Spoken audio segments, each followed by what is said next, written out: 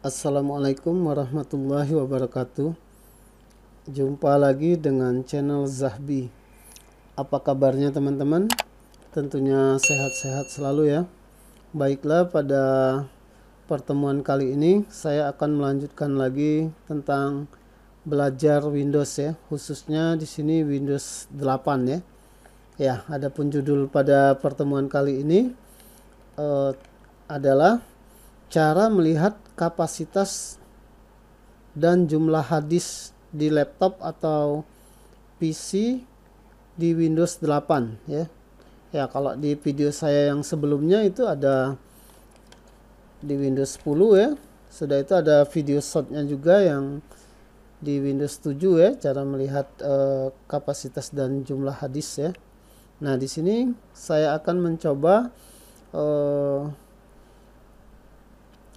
cara untuk melihat kapasitas hadis dan jumlah hadis di Windows 8 ya. Nah, untuk di Windows 8 ini langkah-langkahnya adalah e, pertama kita jalankan terlebih dahulu file explorer ya.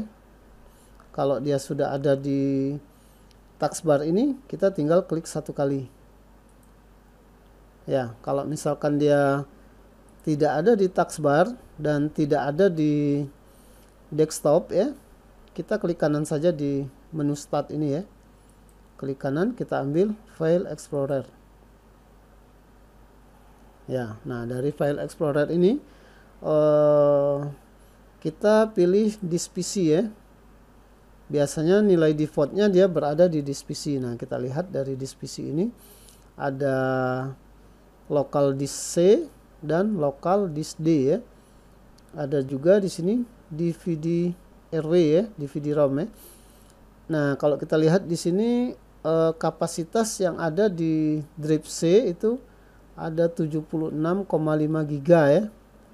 Dan eh, 46,8 giga free ya yang yang tersisa ya, yang bebas ya. Jadi dia dari kapasitas 76,5 giga ini masih tersisa 46 1,8 giga. Untuk drip D-nya eh, kapasitasnya 156 giga.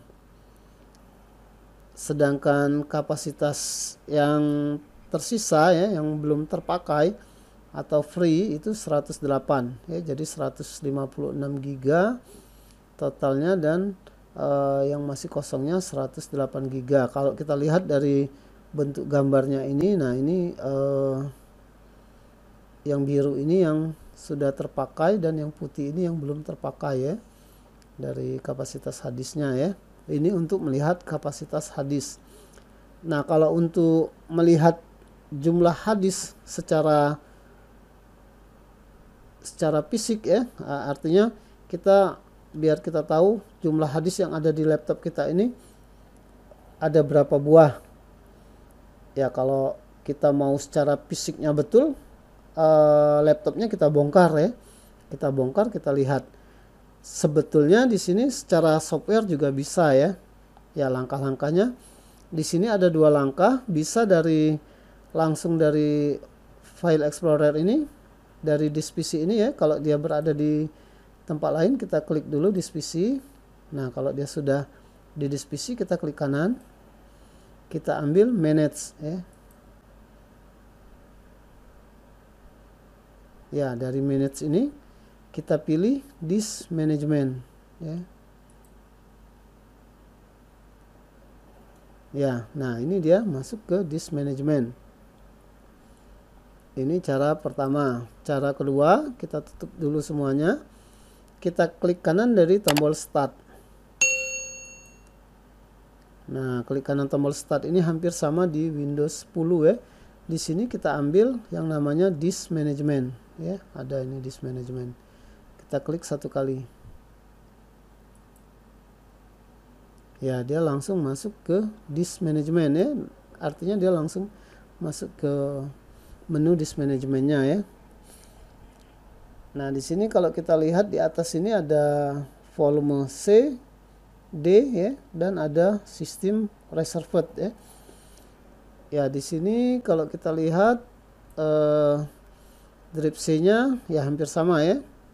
Uh, kapasitasnya 76,54 dan uh, free space-nya 46,82.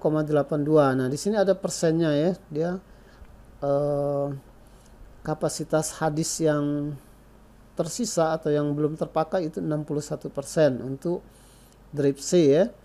Untuk drip D dari kapasitas 156,25 giga yang tersisa ya yang free ya yang belum terpakai itu ada 108,60 giga atau dalam persentasenya itu 70% yang masih kosong ya masih tersisa ya e, untuk ini yang sistem reservoir ini dia memang tiap sistem operasi Windows itu ada ada yang file yang dikosongkan ya untuk sistemnya ya. Ini dia 100 mega ya. Nah kalau kita lihat di bawah sini ada yang namanya disk 0 dan CD-ROM ya. Ini kita buka lagi ya kalau kita lihat di sini uh, dia cuma ada dua yaitu disk 0 dan CD-ROM jadi di sini kita bisa melihat uh, jumlah hadis secara fisiknya ada berapa gitu ya dengan cara uh, melihat dari sini. Kalau kita lihat di sini dia hadisnya ini cuma ada satu. Kalau dia ada satu lagi dia akan tampil di bawah sini dis satu, dis dua ya. Kalau dia ada dua atau ada tiga ya Nah, kalau kita lihat di sini kapasitas dari hadisnya ini ada 232,88 atau secara fisiknya kalau kita lihat di label di hadisnya itu itu ini dia 250 giga ya.